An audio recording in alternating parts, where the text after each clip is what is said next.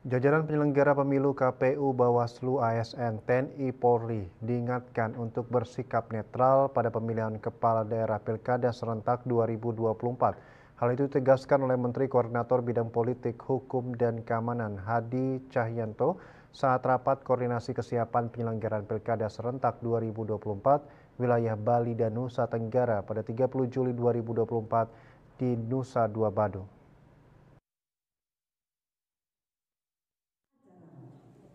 Marsikal TNI Purnawirawan Hadi Cahyanto dalam konferensi pers bersama Mendagri Tito Karnavian mengatakan pentingnya menjaga netralitas TNI, Polri, dan ASN. Nilai-nilai netralitas harus ditanamkan dalam diri masing-masing individu dan menjadi sebuah budaya, serta kesadaran pribadi agar pilkada dapat berlangsung berkualitas dan berintegritas, serta memiliki legitimasi di mata masyarakat. Ia juga meminta pimpinan TNI Polri dan Kejaksaan untuk tidak merotasi anak buahnya dalam waktu dekat, dalam rangka bisa bekerja optimal dalam pengamanan pilkada. Rapat koordinasi ini bertujuan untuk mengantisipasi permasalahan secara dini, serta bisa memastikan serta menjamin tahapan Pilkada serentak 2024 tetap berjalan dengan aman dan lancar sesuai tahapan dan peraturan perundang-undangan yang berlaku. Satu bentuk upaya kita semua untuk menyamakan persepsi dan langkah strategis melalui sinergi antara pemerintah penyelenggara pemilu dan peserta pemilu.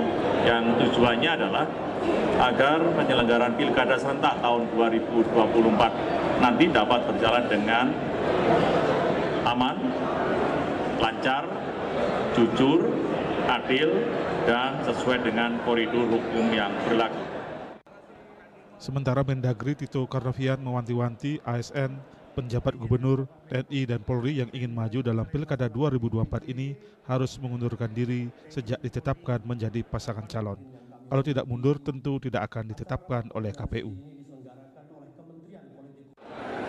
Ketentuan undang-undang bahwa untuk ASN, TNI, dan Polri ketika ditetapkan sebagai pasangan calon oleh KPU tanggal 22 September saat itu sudah mundur dari ASN. Kalau enggak, enggak akan ditetapkan, enggak lulus. Kira-kira gitu. Tapi khusus artinya kalau mau mundur sebelum itu. Tapi waktu pendaftaran tanggal 27, mereka masih boleh. Pendaftaran 27. Gitu Pak ya.